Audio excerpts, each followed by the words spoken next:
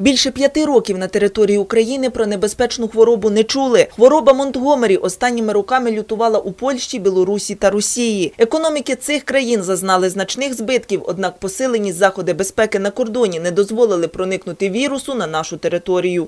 З 2012-го і українські свині відчули смертельну загрозу від стійкого вірусу. З 2007 по 2012 рік Україна була благополучною. Але в 2012 році і е, по сьогоднішній вже зареєстровано 28 випадків захворювання на африканську чуму. Мор свиней зареєстрований на початку літа у приватних господарствах Київської та Чернігівської областей. Загрозу для свинарної галузі Хмельниччини становлять і поодинокі випадки хвороби у Житомирській та Рівненській областях. Сприятливим середовищем для розповсюдження захворювання є ще й висока температура повітря, кажуть спеціалісти. Збудник стійкий до температури, переживає заморожування, висушування та гниття. За температури зберігається близько півтора року.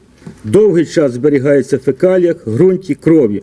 У м'ясі від хворих свиней може зберігатися до півроку. Всі ветслужби області готові до карантинних заходів на випадок небезпеки. Єдиним способом протистояти хворобі є спалення тушок уражених тварин, адже вакцини від хвороби Монтгомері немає.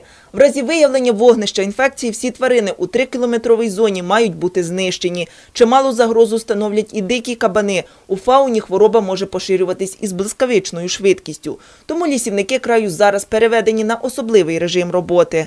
Особливу увагу слід приділяти обстеженню угідь, які межують з Рівненською та Житомирською областями, а це Славутський, Полонський, Ізяславський, Шепетівський, Старосинявський та Староконстантиновський райони. За час поширення хвороби у сусідніх областях на Хмельниччині зареєстрований лише один підозрілий випадок, схожий на симптоми чуми у Летичівському районі. Однак лабораторні дослідження не підтвердили наявності вірусу у тварини, що загинула. Тетяна Москальчук, Сергій Рибчинський. Новини телеканал Ті 7